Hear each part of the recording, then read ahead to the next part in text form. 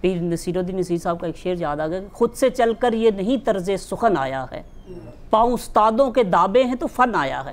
یہ وہ استاد لوگ ہیں جن سے آج کے نوجوان سیکھ سکتے ہیں۔ اردو اور انکو کا ایک بڑا نام ادیب دانشور، معروف شاعر جناب منظر نقوی، آج کے صاحب صدر۔ میں سمجھتا ہوں کہ اختر عثمان اردو ادب کا ایک ایسا نام ہے کہ جس نے شاعری کا بھرم رکھا ہے۔ بھلے وہ اردو کی شاعری ہو، بھلے وہ فارسی کی شاعری ہو، یا ان کو پشتو، اپشتو تو نہیں، یہ پٹوہاری اور پنجابی، اس میں تمام زبانوں میں اختر نے شاعری کی ہے۔ اس کی شاعری کو آپ نے سنا ہے، لیکن میں یہ کہوں گا کہ اس کی شاعری کا جو خمیر ہے، وہ کلاسک سے پھوٹا ہے اور جو لہجہ اور رویہ ہے، وہ جدید ہے۔ اختر کی نظم کو سمجھنے کے لیے میں سمجھتا ہوں کہ مختلف نظریات، فلسفے اور جو مذہبیات میں مختلف اس کے حوالے ہیں، وہ جب تک آپ آگاہی نہیں رکھتے، اختر کی نظم سے جو ہے وہ حز نہیں اٹھایا جا سکتا۔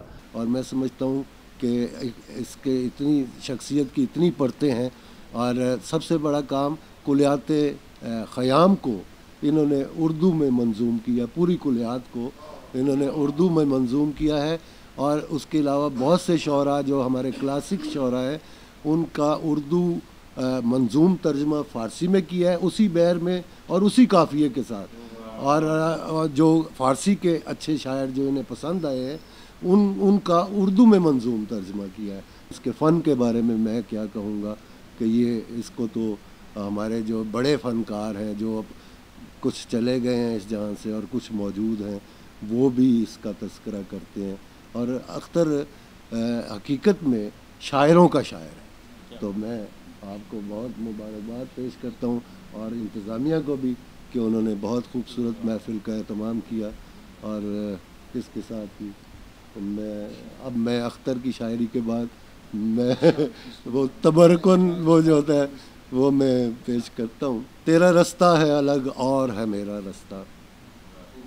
تیرا رستہ ہے الگ، اور ہے میرا رستہ۔ عشق دریا ہے، بنا لیتا ہے اپنا رستہ۔ تیرا رستہ ہے الگ، اور ہے میرا رستہ۔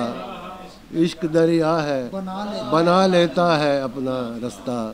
تم نئے رستوں پہ چلتے ہوئے خوش ہوتے ہو۔ تم نئے رستوں پہ چلتے ہوئے خوش ہوتے ہو۔ ہم نے اپنایا تسلسل سے وفا کا رستہ۔ ہم نے اپنایا تسلسل سے وفا کا رستہ۔ وہ شجر ہوں جو ہواؤں میں کھڑا رہتا ہے۔ وہ شجر ہوں جو ہواؤں میں کھڑا رہتا ہے۔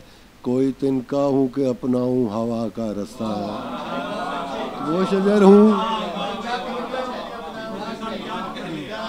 وہ شجر ہوں جو ہواؤں میں کھڑا رہتا ہے۔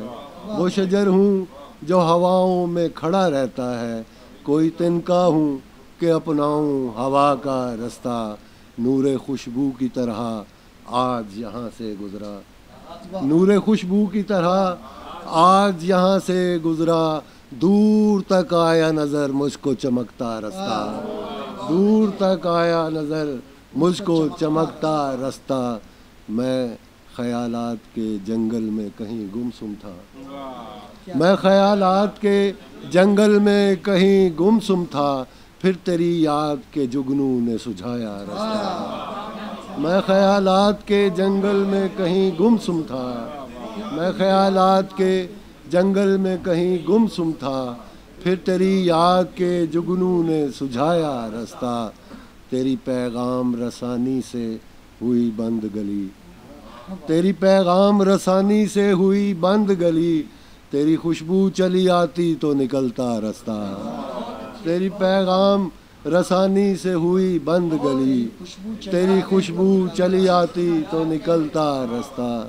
تیری خوشبو چلی آتی تو نکلتا رستہ، یہ تو سچ ہے، تیری دنیا نے لبھایا منظر۔ یہ تو سچ ہے، تیری دنیا نے لبھایا منظر، مگر ایسی بھی نہیں تھی کہ بدلتا رستہ۔ یہ تو سچ ہے، یہ تو سچ ہے، تیری دنیا نے لبھایا منظر۔ مگر ایسی بھی نہیں تھی کہ بدلتا رستہ۔ تیرا رستہ ہے الگ اور ہے میرا رستہ۔ عشق دریا ہے، بنا لیتا ہے اپنا رستہ۔ خدا کا شکر کہ کرسی نشی نہیں تھے ہم۔ خدا کا شکر کہ کرسی نشی نہیں تھے ہم۔ سروں کے ساتھ ہی دربار میں کہیں تھے ہم۔ خدا کا شکر کہ کرسی نشی نہیں تھے ہم۔ سروں کے ساتھ ہی دربار میں کہیں تھے ہم۔ پلٹ کے آئے گی دنیا ہمارے پاس ایک دن۔ پلٹ کے آئے گی دنیا ہمارے پاس ایک دن۔ تمہیں گمان رہا اور پر یقین تھے ہم۔ تمہیں گمان رہا اور پر یقین تھے ہم۔ بلندیوں سے یہ نسبت ہماری کم تو نہیں۔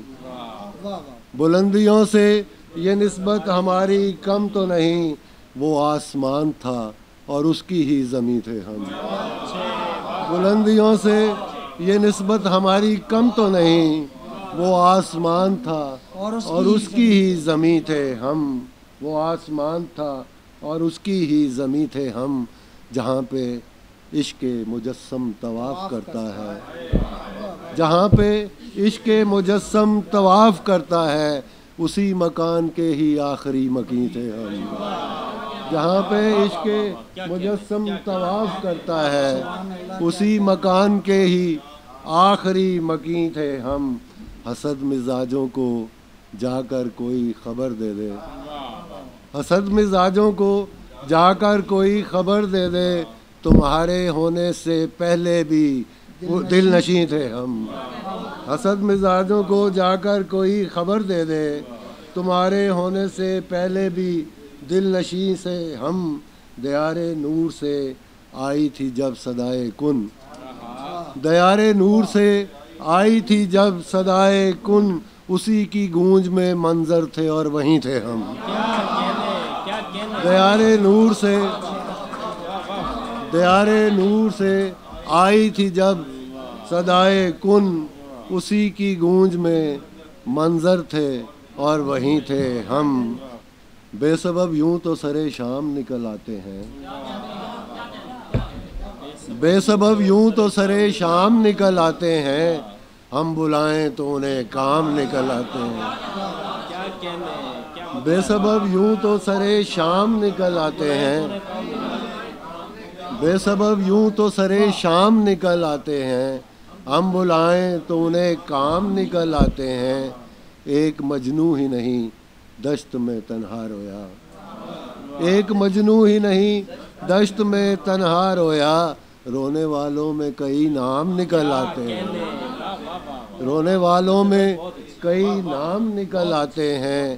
ملتے رہتے ہیں۔ ہمیں زیست میں لوگ ایسے بھی۔ ملتے رہتے ہیں، ہمیں زیست میں لوگ ایسے بھی۔ خاص ہوتے ہیں مگر خام نکل آتے ہیں۔ ملتے رہتے ہیں۔ ہمیں زیست میں لوگ ایسے بھی خاص ہوتے ہیں، مگر خام نکل آتے ہیں۔ بارہا پہنچے ہیں دربار میں اوروں کی طرح۔ بارہا پہنچے ہیں دربار میں اوروں کی طرح۔ دام لگتے ہیں تو بے دام نکل آتے ہیں۔ شکریہ کہ آپ تشریف لائے۔